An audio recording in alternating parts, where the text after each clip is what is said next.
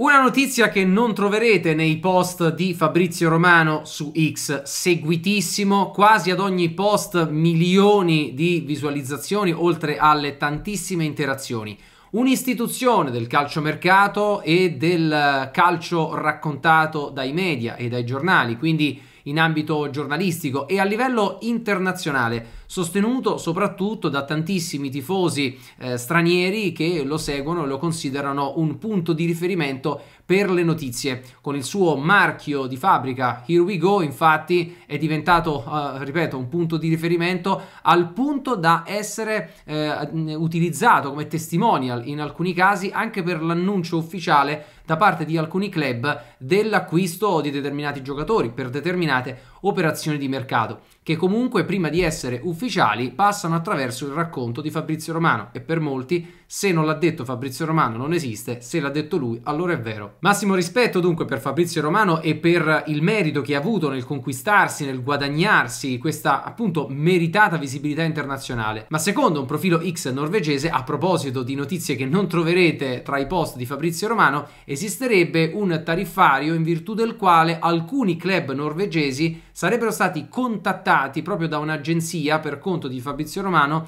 per proporre a pagamento la pubblicizzazione, la promozione di determinati giovani talenti norvegesi. Scrive infatti Kimmo FC, Fabrizio Romano for sale. I migliori club norvegesi sono stati contattati da un'agenzia che rappresenta Romano offrendosi di promuovere i loro giocatori per eh, 1000 fino a 6000 sterline con un video personale dello stesso Romano e c'è lo screenshot del form eh, di, eh, com- da compilare per la richiesta dove si può leggere che cosa vuoi che Fabrizio Romano eh, faccia o dica nel video eh, informazioni generali con la descrizione, una breve descrizione della tua attività, il tono di voce, lo stile eh, che eh, deve utilizzare Fabrizio Romano per realizzare questo video, il nome della compagnia, del sito eh, e poi appunto il tipo di ehm, rapidità anche nella consegna, quindi i tempi di consegna del contenuto, quanto velocemente lo vorresti, addirittura lo si può ottenere senza ulteriori costi in 7 giorni o entro 24 ore con l'aggiunta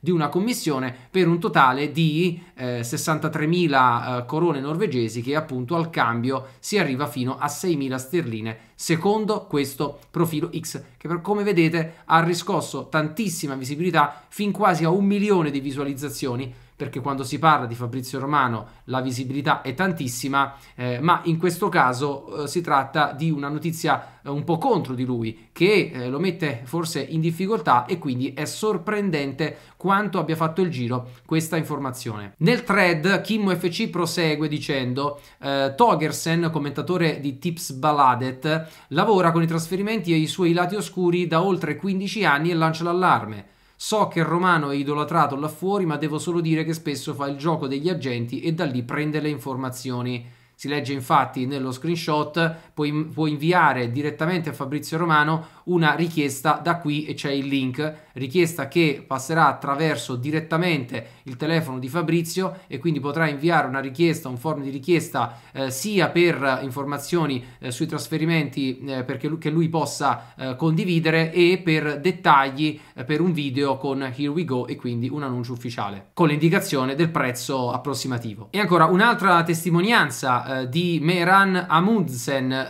Ansari. Nei miei sette anni nel massimo calcio ho ricevuto tante richieste strane, ma mai come questa. Questo deve essere uno dei giornalisti più famosi del mondo. È completamente insensato e ricordo che dopo questo incidente ho smesso di seguirlo sui social media. Dice eh, il capo del marketing della società Valerenga Football. Un portale norvegese, Idrettspolitik, aggiunge ha parlato con Fabrizio Romano e gli ha chiesto se usa o ha usato Memmo per vendersi ai club in questo modo e se fa pagare per promuovere i giocatori nei suoi canali social. Non vuole commentare la questione. He does not wish to comment on the matter. Considerazione finale di Kim FC, ricordalo quando vedi voci provenienti da agenti e promotori di alto profilo, spesso 5-10 post al giorno sullo stesso player non è sempre sbagliato, ma è alimentato da agenti con un preciso obiettivo. È difficile, molto difficile capire quanto c'è di vero in questa notizia, quindi se è una notizia. Ma quello che possiamo dedurre è che forse è il caso di non prendere per oro colato quello che dice Fabrizio Romano e gli altri giornalisti in tema di calciomercato,